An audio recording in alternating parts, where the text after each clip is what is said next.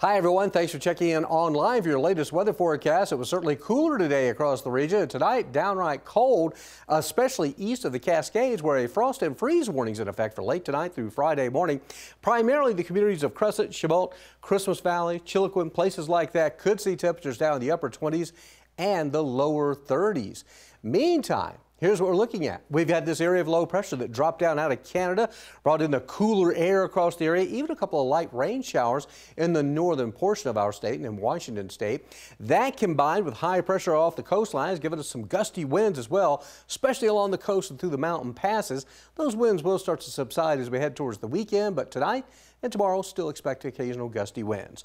Pinpoint forecast tonight, just a few patchy clouds passing through here and there as we head through to our Friday morning. Uh, some patchy low clouds along portions of our coastal areas and a few clouds even sneaking their way into the Rogue Valley. But by afternoon, bright and sunny all across the area. And guess what? We'll just do that all over again on Saturday. So some patchy clouds in the morning hours. Follow that up with plenty of sunshine again for the afternoon.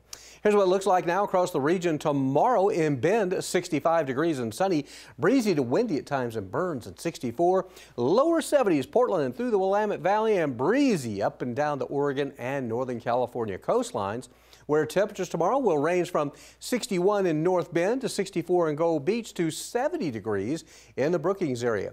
East of the Cascades, we talked about those cold temperatures tonight. Now in Klamath Falls, we're not expecting a freeze, but still chilly, 39 degrees.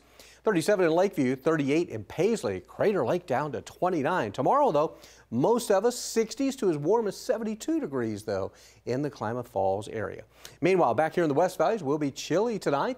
Uh, down to 48 here in Medford, 44 Cave Junction and in Yreka. Tomorrow is going to be a beautiful day. We become mostly sunny, highs in the 70s. Now for the weekend, we warm up a little more. We'll be in the mid 80s, it looks like, then trending back a little bit. Some clouds start to enter the picture next week, and there's a real small chance a shower might pop up Tuesday night or Wednesday. We'll keep an eye on that for you. Klamath Basin, beautiful weather for the weekend. You're looking at low 80s and then some clouds building up Tuesday, Wednesday, Thursday, some slight risk of showers there. At the coast, breezy for the next couple of days, temperatures in the 60s, and we keep it that way next week. An increasing marine layer, though, Tuesday, Wednesday, Thursday could generate a couple of showers by the time we get to Wednesday. Northern California are headed to the 80s for the weekend. Otherwise, sunshine, then just like the rest of us, a few clouds into the picture next Wednesday and Thursday. Thanks again. We hope you have a great Thursday and Friday. And of course, you can always catch your latest forecast here or over the air at NBC5 News.